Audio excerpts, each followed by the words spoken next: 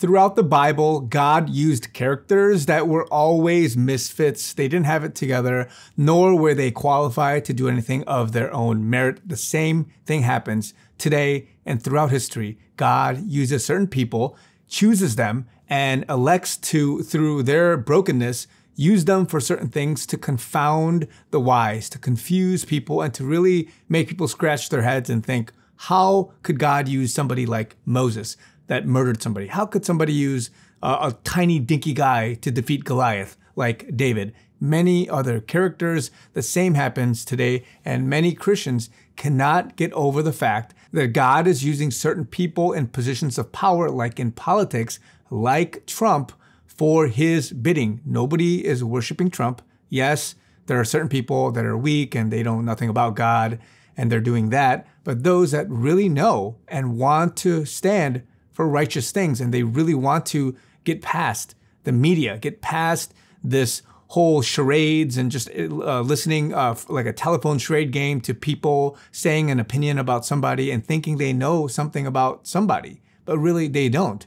I followed Trump. Many of you guys have followed Trump for a very long time, and we know that he's being attacked. He's going under tremendous just pressure with different things. And the fact that he just literally takes all of this, even though he could have had a comfortable life, he's fighting for the things of the Lord. Nobody says that he's this holy, amazing man of God, like this pastoral figure that has it all together and no blemishes. No, as a president fighting for certain things, especially geopolitical international issues, this is the man God has chosen that I've said before that he's using. But during this time, and from the first term, even and even before that, all the way through now, God is still using him, but He's refining him. He's, uh, you know, growing him, sanctifying him, and He's doing all these other things around him. All the other people, bringing certain people into His life, uh, expelling other people out, and just cleaning house, and all these things. It's it's a huge sovereign mess in a sense that we don't really fully understand.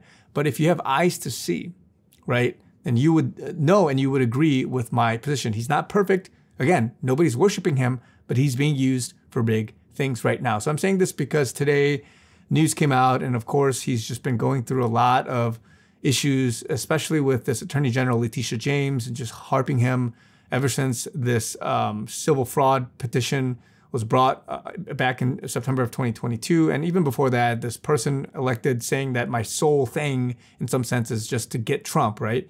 a lot of people are out to get him. And a lot of people are doing that because they lost the battle. They know what's coming and they have nothing else to lose except to try to win people in the court of public opinion as well as in the actual courts of what's happening now. So he just came out of trial today at the time of this video, testifying with this crazy, ridiculous case that uh, he even says uh, that you have no case is from his uh, testimony. And he's talking about his properties and a lot of people are laughing, right? A lot of people are laughing in the sense that his property value, people would love to buy it at the whatever, you know, 10 figure million or whatever whatever it was. It's a cheap value. But yet people are harping on this financial sort of fraud or whatever it is that he supposedly had, but of course none of it is true in the sense that he, they have no case. This is all a circus act. They're trying to get him for nothing. And in some sense, they're projecting their own crimes onto Trump, where uh, and again, this is deeper stuff, but if you follow Q and just all these other people, they say that Trump has to go through this first. So, in the sense of the public viewing, uh, you know, trials and, and the tribunals and all this stuff, the military arrests, all this stuff that's going to happen later, it sort of has to happen to Trump first in the sense that people can digest it. But what I mean by it happening to Trump first, I mean that it's being accused on him, right? They, with the raid on Mar-a-Lago and all this other stuff, the documents, the classified stuff, none of it has merit, right? We've already talked about all of those things. He was a president. He can declassify and all that stuff. It kind of has to happen to him, falsely accused, and then it will happen for real to these other people. And so this is happening right now, guys. Whether it's being planned at a bigger white hat controlled level, or it's just this, you know, mini battle back and forth. Whatever this plan is, it's working in the sense that even this weekend, his poll numbers, especially in the battleground states, he's up, right? And again, I'm not going to talk about that because there's another outside factor happening with regards to uh, progressing the elections from a 2024 perspective, but really, according to many people like Derek Johnson and the theory of devolution, these guys, they know, we know that he is commander in chief behind the scenes, but yet there are things that have to happen optically in the public light because of the stolen 2020 election and how there's all this foreign interference, this foreign stuff. They have to take them down. And so I'll talk about that at some point later. I've talked about it for a while now. A lot of people di- uh, dig into this very well, and they have proof in the sense that a certain legal documents, executive orders are in place that give clue to these things. But this is another issue. Right now, I'm saying that Trump, the White Hats, the Patriots, these guys, they're going through massive amounts of attack. They're going through massive amounts of pressure. I, I don't want to say that they're stressed, but if I was in his shoes, Trump's shoes, or anybody else, 24 7, he's going through things that are probably weighing him down like crazy. Yes, he has a team. Yes, he has people that are helping him and just many other generals, military generals. But the fact is, he needs our prayer and he needs support. He needs us to uh, really come to his aid in the spiritual sense because, again, nobody's worshiping him, nobody's uh, giving him glory in the sense of uh, this idol, but rather we, on the side of God's plan, his righteousness, we need to team up and be united in this sense. A lot of people will still not understand.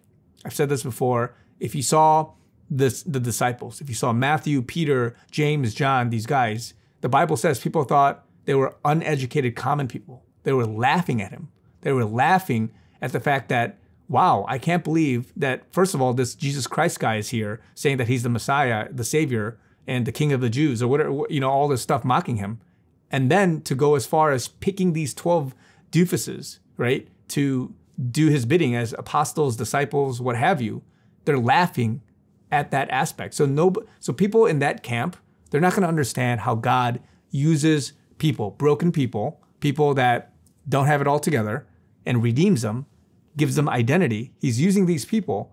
And if you don't understand that, that's fine. But those that do and were really praying for God to work, then you would understand this. And you would know that we need to join hands, really to be united as one, because we are the chosen generation. We are being separated we wheat from chaff.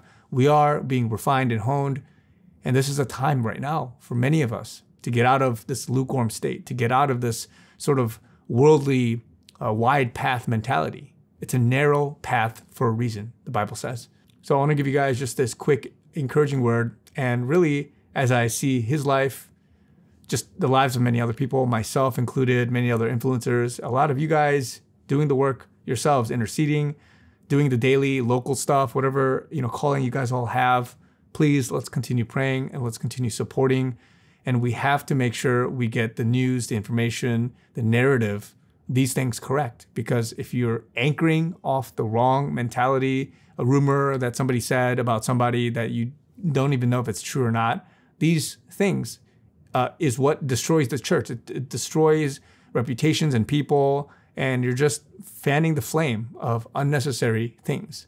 So, again, this only applies and makes sense to certain people. We need the support, we need the help a lot of us, we are in just this last little gasp. The finish line is close, but we still need to continue pushing, pressing on, fighting the entire time. So continue going, be encouraged, guys. I want to ask you guys if you can support me. Links are in the description below. I really need support. I have journals, I have t shirts, I have many things. If you guys really are able to take a moment to go to the store, the link is below. Just buy one or two things. Would love the support. Love you guys. Talk to you guys very soon.